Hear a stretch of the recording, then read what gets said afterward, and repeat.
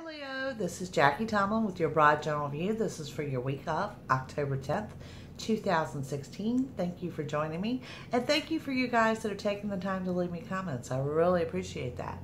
Upcoming, I will be in Williamsburg, Virginia, October 16th and 17th, so feel free to message me.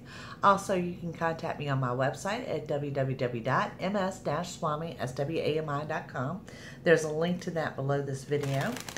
Got another upcoming paranormal investigation with XL1 and 2, so we'll have some more news on that soon. So this is for Leos for the week of October 10th, 2016.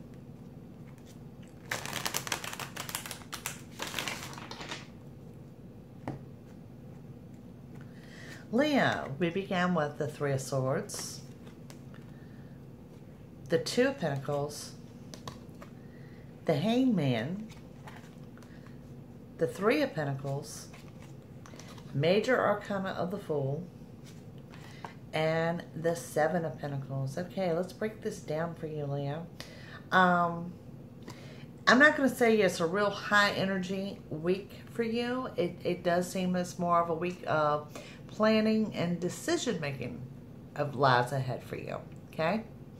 It does indicate a delay in these plans. It does show that you're juggling too many things at one time. And then, of course, we're looking at the threes of crowns. So that's the third person's opinion or unwanted advice that you just don't need right now. So be warned of that as you move through your week ahead. Um, also, um, seeing a little bit of a going back to that delay. Okay, the delay is in long-term plans, so you may want to review not the goals that you have set for this month or next month, but on into next year, you might want to rethink those plans. Three of Pentacles, the Fool, and then we have the eight, seven, seven of Pentacles. Okay, uh, it does show a little bit of financial stress, and of course, the Fool indicates it's not a good time to make foolish decisions regarding those finances. But then when we look at the Seven of Pentacles, it shows that you're working and gaining. Now, for those of you that are seeking employment, this is a good time to hear of a job offer or job interview, something of that effect. This would be a good week for that to come in for you.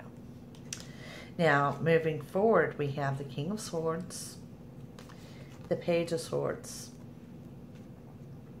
and we have the Seven of Wands. Now, guys, I'm going to go back to the very first card that I pulled for you being that Three of Swords, okay?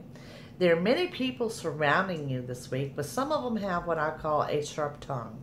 Defenses are up. I'm not necessarily seeing arguments because this indicates to me that you're overcoming those obstacles, but it does show that your defense is on the rise this week and that you may have to speak up. Like I said, that third person and that I unwanted opinion. So Leo, not a bad week ahead. Thank you for watching. Please take the time to like, share, and subscribe. I'll see you guys in a few days. Bye.